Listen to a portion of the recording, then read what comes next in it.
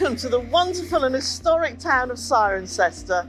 And where could be more fitting to talk to you about the vision we have for the town that we want you to be part of?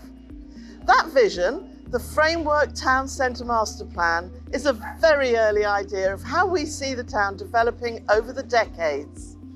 The master plan includes how we foresee transport and movement around the town, how buildings will be designed, and how the town might change to accommodate a wider range of services from business and employment, education and leisure, to entertainment, culture, community and health.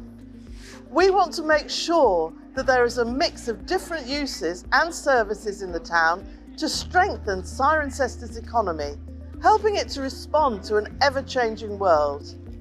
Cirencester has a rich heritage which draws tourists from all over the world. The master plan will look to enhance access to the town, creating a more connected network of cultural and heritage sites. We will be running an event where you can see the plans for the town centre and talk to staff on Wednesday, the 21st of February from 10am till 8pm at the Corinium Museum. To learn more about the early plans for Cirencester and to let us know what you think of them, please visit your.cotswold.gov.uk.